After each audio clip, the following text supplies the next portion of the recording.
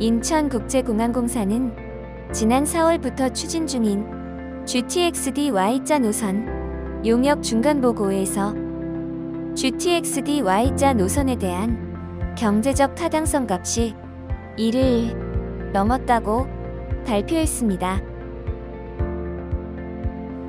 아울러 민주당 김교은 국회의원과 국민의힘 배준영 국회의원이 잇따라 국토교통부로부터 GTX-D Y자 긍정 답변을 받아오면서 올해 말 국토부가 준공할 예정인 GTX 확충 통합기획 용역 결과에 기대가 높아지고 있습니다. GTX-D Y 노선은 영종도에서 출발해 서구, 청라, 가정지구를 거쳐 김포 장기, 검단, 계양에서 오는 노선과 부천 종합운동장에서 만나 서울 가산 디지털 단지, 신림, 사당, 강남 삼성까지 간 뒤 다시 잠실, 교산, 팔당과 수서, 북정, 모란, 경기 광주, 여주까지 분기하는 노선인데요. 현재 인천공항공사와 국토부가 각각 인천국제공항 철도 네트워크 연구 용역과 GTX 확충 기획 용역에서 GTX-D Y자 노선 타당성 검토를 진행 중입니다.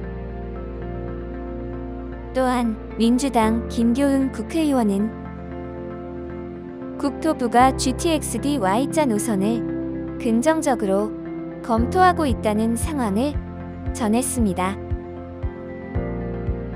아울러 원희룡 국토부 장관이 지난 7일 국회 대정부 질문에서 그래서 이제 서울에 직장이 많고 그러니까 출퇴근이 전쟁 아닙니까?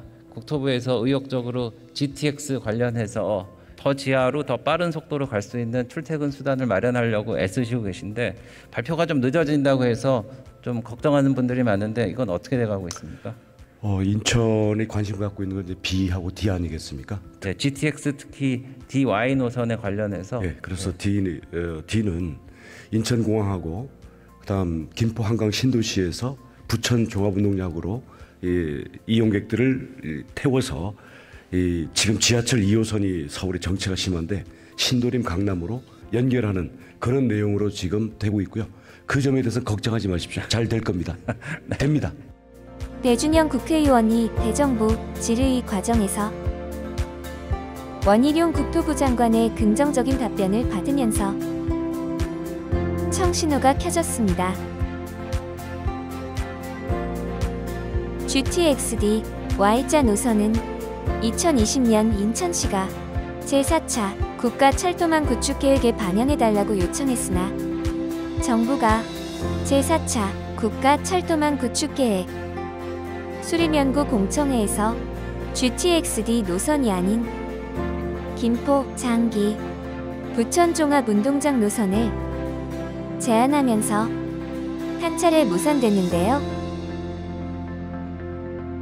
이후 지난해 20대 대통령 선거에서 국민의힘 윤석열, 민주당 이재명 후보 모두 GTX-D Y자 부활을 인천 지역 공약으로 내걸었습니다. 이어 윤석열 대통령이 당선 후 GTX 사업을 조속히 추진하라고 지시하면서 GTX-D Y자 노선은 완전히 부활했습니다.